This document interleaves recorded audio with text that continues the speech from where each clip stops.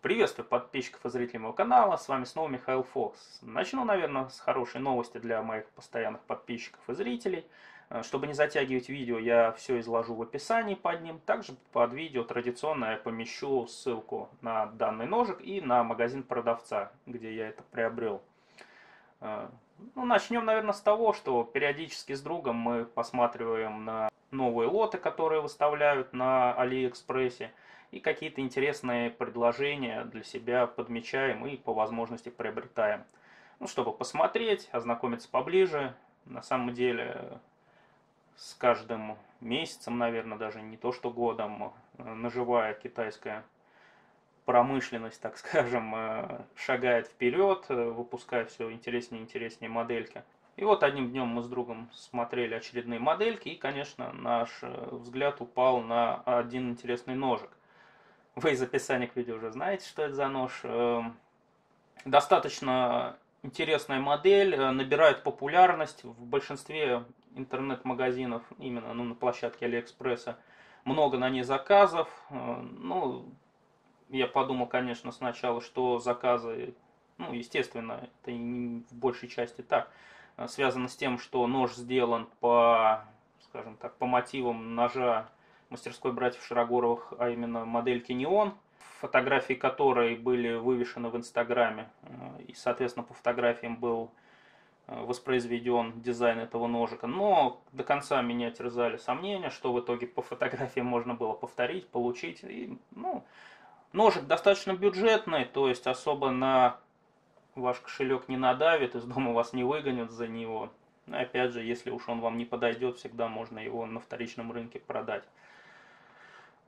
Как видим, производит это, эту, скажем, копию, реплику, или, или точнее нож по мотивам фирма Vespa. Известна нам эта фирма стала в первую очередь с того, что именно первой она выпустила модели, повторяющие дизайн ножей Microtech Halo 5 и Halo 3. И вот они взялись, скажем, за воспроизведение с фотографии дизайна неона. Так, идет ножик вот в такой более-менее презентабельной коробке.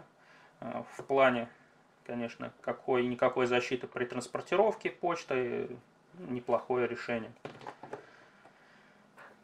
Такой малыш, на самом деле, первый раз, когда я его вытащил э, после почты из коробки, был удивлен. На фотографиях он выглядит несколько больше. Э, здесь же очень маленький, очень компактный EDC ножичек. Э, я до последнего момента сомневался, что из него что-то интересное, особенно по фотографиям, э, китайские производители выжили, но, как оказалось, э, вполне себе неплохой ножичек получился. Надо отметить флип. Он здесь очень, скажем, звучный, интересный, но самый, наверное, главный минус, наверное, ну, отнесем его к минусам, это то, что фреймлок э, вместе вот сухаря в закрытом положении давит на клинок. Э, поэтому приходится приложить больше усилия при открытии. Но из коробки это очень заметно было, по крайней мере, вот в моем экземпляре. Я его на, на ночь оставил в ВДшке. На утро, скажем, протер, посмотрел, стало уже намного проще. Палец я вчера, конечно, показательный намял. В остальном нож очень аккуратен, э, геометрия ровная, гринд не завален, ровненькие подводы, ровненькие спуски, очень классная обработка титановой рукоятки, фигурный спейсер. Клипса жесткая, даже, наверное, не слишком, ну, такой средней жесткости.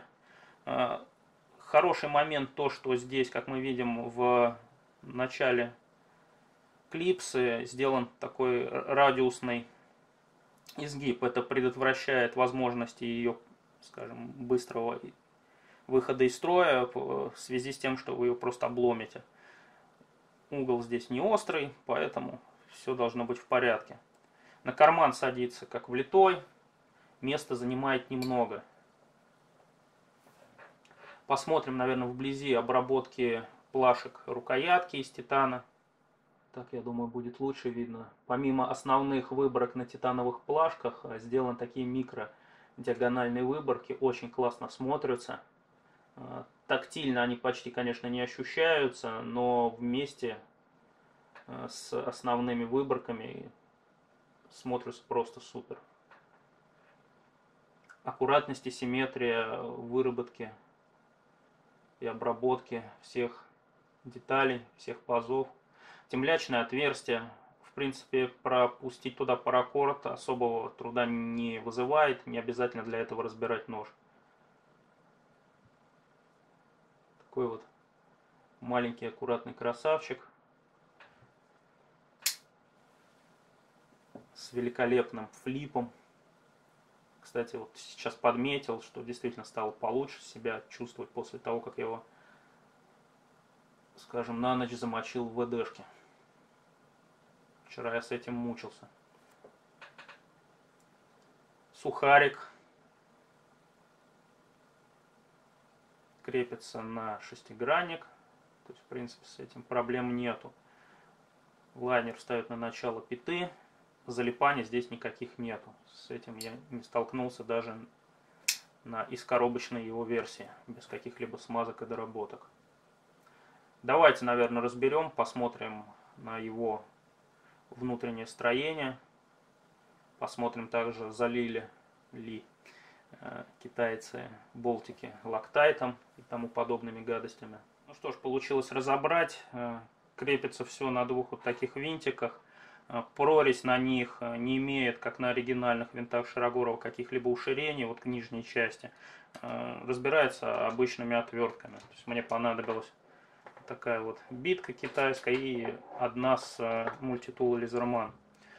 Плашки соединены вместе очень плотно, немножко повозился, чтобы их разделить. Вот, вот эти штифты прям вот миллиметр в миллиметр сделаны с э, ответными отверстиями на противоположной плашке. То есть в них сидят очень туго. Как мы видим, внутри подшипнички. Вот, 8 шариков в пластиковой обойме. с двух сторон. В нижней части, в нижней плашке есть выборка под один из подшипников. Втулочка.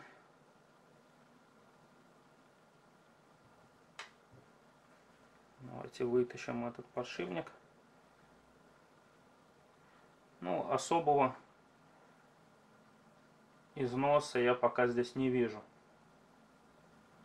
Клипса крепится вот таким подтайным шестигранничком винтом. Достаточно удобно и аккуратно. Как мы видим, внутренняя обработка поверхности рукоятки также на достаточно высоком уровне. Никаких заусенцев, э, рытвин, каких-либо следов от э, фрезы не наблюдается.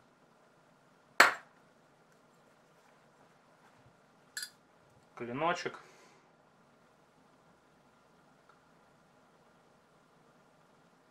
достаточно приятный Stonewash на клинке. Вот, кстати, о чем я говорил, видим достаточно интенсивный след от э, шарика, впрессованного в сухарь, который и давит при открытии, как бы при первом усилии на открытие этого флиппера. Кстати, шарик похож на керамический не имеет какого-то вот блеска на части трущейся. Такой вот черный глянцевый равномерный блеск. Ну что, ладно, соберу я его теперь обратно. Мы посмотрели на его внутреннее устройство.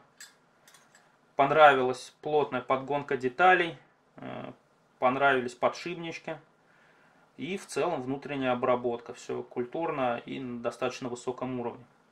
Перед тем, как я окончательно не завернул этот ножик обратно, посмотрим на винтики. Головки, скажем, грубо, грубовато, конечно, обработаны, видны следы. Но при первом отворачивании каких-то закусов от отвертки вмятин я не посадил. Вот. Хотя и не особо аккуратно отворачивал. То есть, в принципе, закалка винтиков более-менее удовлетворительна. Что не скажешь немножко об обработке. Можно было и получше. Можно сказать пару слов о заточке из коробки. В целом ножик заточен нормально. Вот, но переточить его для полного комфорта, конечно, стоит.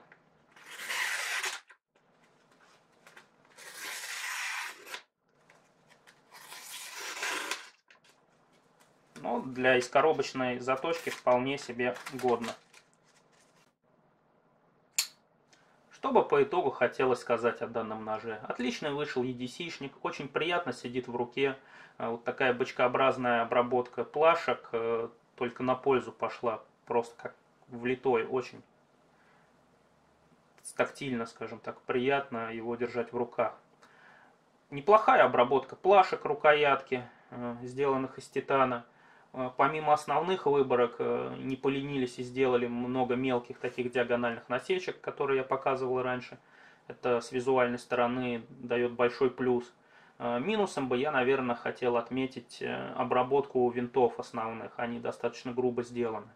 Можно было их шлифануть получше, особенно вот выборку под паз отвертки. Клип со средней жесткости, карман особо рвать не будет. В ней предусмотрен вот этот изгиб, который, скажем так, благоприятно сказывается на долгожитии этой самой клипсы.